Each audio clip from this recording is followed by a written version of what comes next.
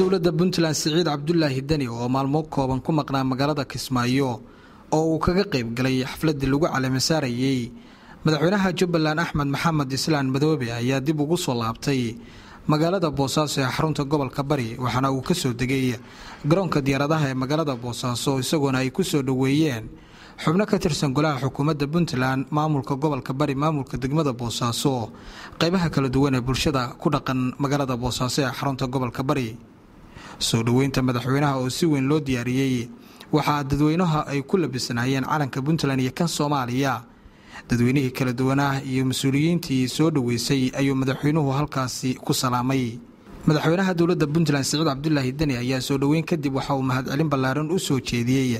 Qaybaha kala duwan ee bulshada ku dhaqan magaalada boosaaso isagoona dardaaran u jeediyey.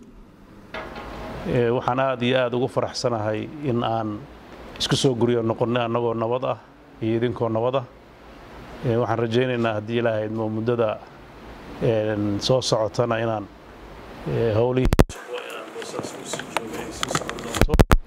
dabcan sidaad ka warqabtaan waxaan ka qayb galnay xafiladdii caleemasaarka ee magaalada kismaayo loogu qabtay madaxweynaha cusub ee la doortay axmed maxamed islaam.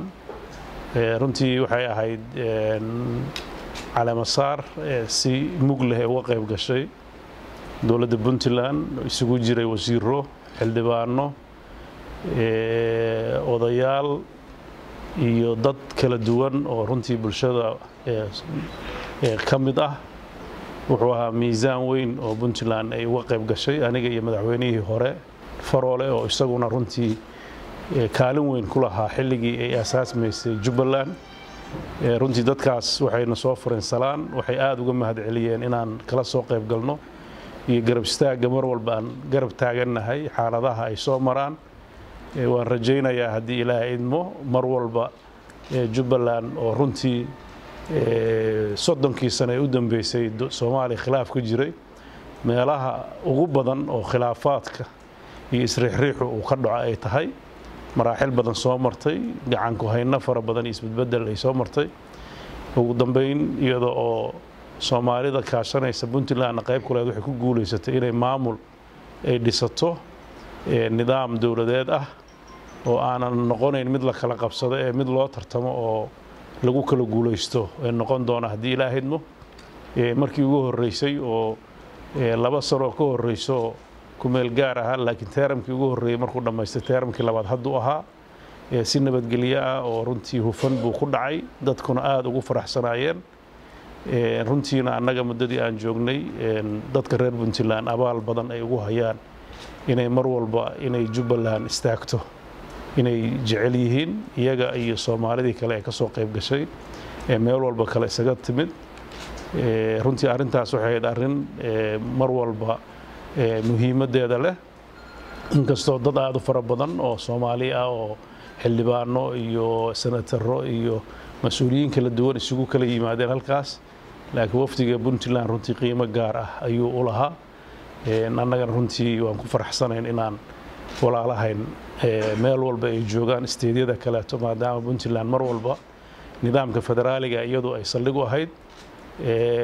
State kasta oo sidaasoo kaleeto ay wax la soo gudboonaadaan ama doorashooyin iyo xaflado dhiganayo ama dhibaatooyin kaleeto ay yimaadaanba mar walba puntland waxay diyaar u tahay isteedyada soomaalida oo dhan inay garab istaagto. Waxa ay ka mudan tahayna ay mar walba ay siiso iyadana waan rajaynaynaa. Runtii magaalada nabadgelyadeedu boqolkiiba boqol bay ahayd. Culaysyo dhinacyada ka saaran xuduudaha oo dhinacyana waxaa ka jira nimankii nabaddiidka ahaa hawada iyo baddana culays baa ka saarnaa. Dhinaca dhaqaalaha duruuf adag baa ka jirtay. Waxaan rajaynaynaa haddii ilaahay idmo dadka soomaaliyeed meel kastoo ay joogaan inay bulshada badan oo halkaas ku dhaqan culayska dhaqaale oo saarnaa iyadana in looga gurmado. Gaar ahaan dadka reer puntland waxay filayaan inay maadaama dad ganacsataana la ahaayeen in ay maalgelinta maadaama magaaladii degantahay ay ka qayb qaataan. Waan ku faraxsanahay shirkado fara badan oo shirkadihii reer puntland ahaa oo boosaaso caanka ka ahaa ayaa markaa waddooyinka maraysaan magacyadoodii iyo xafiisyadooda ay ka muuqdeen.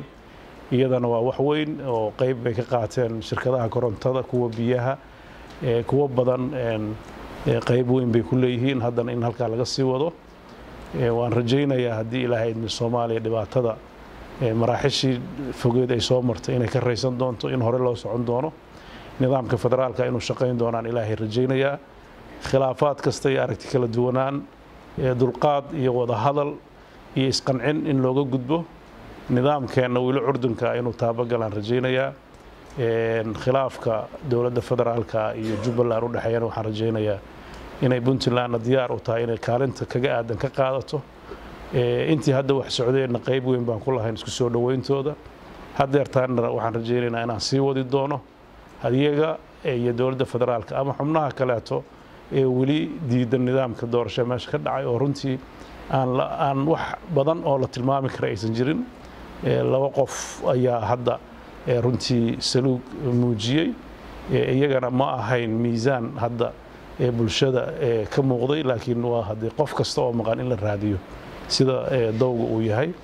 Waan rajaynaynaa khilaafyadaasna inay si hufan oo deggan inay ku dhammaadaan annagana waxaan rajaynaynaa maadaama federaalkaas aan saldhig u nahay inaan ilaalino nidaamka dawliga ah iyo dowladnimada ku dhaqankeeda iyo dowladnimada taabagelinteeda iyo sharciga iyo kala dambeynta inaan gacmaha iswada qabsanno arrintaas ku dadaalno. Dadka kale markaasaan waxaan ugu baaqno ay macno yeelanayaan. Annaguna runtii waan uga mahad celinaya dadka reer puntland inay muujiyeen koo iyo labaatan sano oo ismaamul ah. Xaqiiqdii waa arrin taariikhda cusub ee soomaaliya baal dahab ka geli doonto isma maamulin keligeede ay u gacan hadisay mujtamaca soomaalida kaleeto inay ka qayb qaato dhismahooda iyo dowladnimadooda. Aad baan iniga mahad celinaya soo dhoweynta iyo dadaalkaas labadaba. Maxamed xirsi jabra raadiyaha iyo telefishinka dowladda puntland magaalada boosaaso